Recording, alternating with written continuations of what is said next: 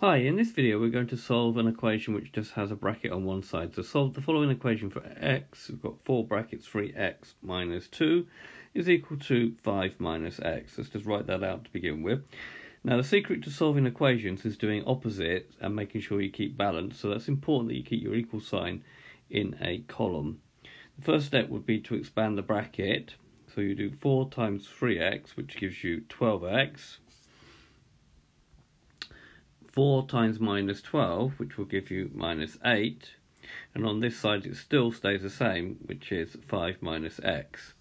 And in most of these equations, they come down to have solving an equation with x on both sides. Looking at 12x and minus x, minus x is the smallest thing, so we'll do the opposite thing to the smaller one, which says add x to both sides. 30, uh, 12x plus x gives me 13x, I've still got minus 8 and then we've got equal to 5 and obviously minus x plus x gives me nothing on that side. So we just got a 5 the opposite of subtracting 8 is to add 8 to both sides. So adding 8 to this side we're going to get 13x and then 5 plus 8 gives me 13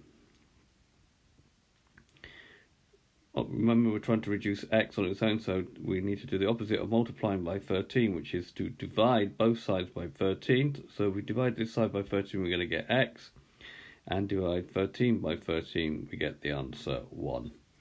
This has been a video to show you how to solve an equation with a bracket just on one side. I hope you've understood, and I thank you very much for watching.